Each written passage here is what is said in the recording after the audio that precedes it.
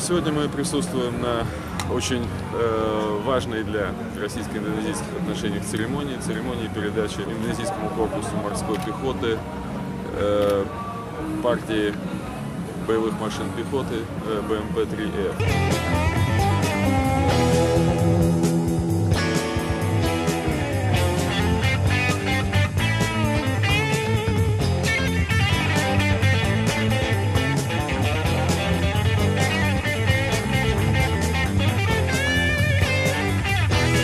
Президенты наших стран Владимир Владимирович Путин и Сусило Бамбан Юдайону в октябре э, прошлого года на Бали во время встречи на полях саммита АТЭС э, договорились об активизации э, развития всего комплекса российско-индонезийских отношений, включая и военно-техническое сотрудничество. И вот сегодня мы видим реальное воплощение этой договоренности в жизнь.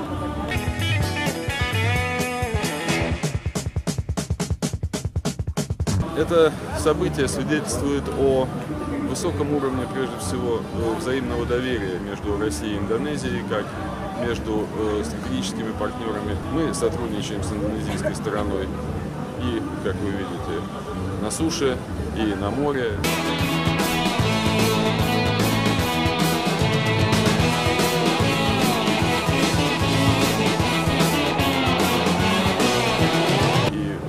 Воздухе. И это сотрудничество служит интересам, э, национальным интересам обеих стран, интересам их безопасности, интересам их экономики, э, интересам э, укрепления мира и стабильности в Азиатско-Тихоокеанском регионе.